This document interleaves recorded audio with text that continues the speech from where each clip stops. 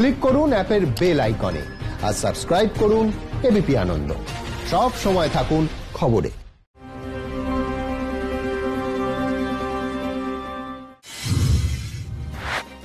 সফরের শেষ দিনে দক্ষিণেশ্বরে গিয়ে মা ভবতারিণী দর্শন অমিত শাহ দিলেন পুজো।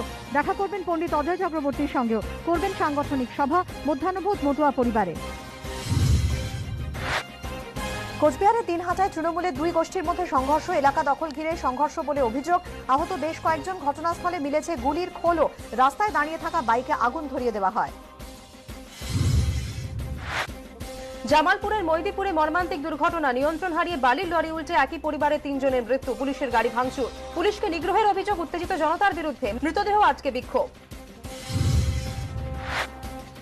দুর্গাপুর ব্যারাজের ক্ষতিগ্রস্ত অংশে মেরামতির কাজ শেষ। বেলার দিকে পানীয় জল সরবরাহ স্বাভাবিক হওয়ার সম্ভাবনা। গতকাল শেষ হয়েছে ব্যারাজের একত্রিশ নম্বর লকগেট মেরামতি। লকগেটের বাড়তি সুরক্ষার জন্য ব্যারাজের জল নির্দিষ্ট মাত্রায় পৌঁছলে আনা হবে ফ্লোটিং গেটও। অন্য বিভাগে বদলি হওয়ায় আর্থিক ক্ষতির সম্ভাবনা। এই আশঙ্কায় রানীগঞ্জ ইসিএল এর জেকে নগর কলিয়ারিতে খনিকর্পে অবস্থান বিক্ষোভ একান্ন জন শ্রমিকের। খনিকর্পে অবস্থান বিক্ষোভ বেআইনি, জানিয়েছে ইসিএল কর্তৃপক্ষ।